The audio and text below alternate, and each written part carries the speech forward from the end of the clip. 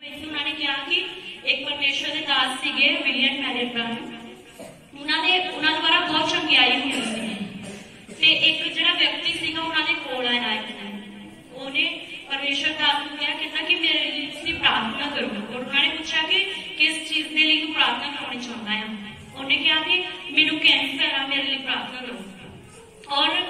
ਪਰਮੇਸ਼ਵਰ ਦੇ ਦਾਸ ਨੂੰ ਪਵਿੱਤਰ ਆਤਮਾ ਨੇ ਦੱਸਿਆ ਕਿ ਉਹ ਜਿਹੜਾ ਵਿਅਕਤੀ ਆ ਉਹਨੂੰ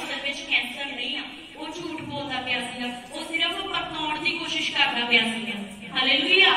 ਇਦਾਂ ਹੀ ਖਾਨੀਆਂ ਸੁਨੀਆਂ ਨੇ ਵੀ ਝੂਠ ਬੋਲਿਆ ਉਹਨਾਂ ਨੇ ਵੀ ਪਰਮੇਸ਼ਵਰ ਨੂੰ ਪਰਤਾਇਆ ਕਿ ਪਰਮੇਸ਼ਵਰ ਨੂੰ ਪਤਾ ਲੱਗਦਾ ਹੈ ਇਸ ਚੀਜ਼ ਦਾ ਕਿ ਨਹੀਂ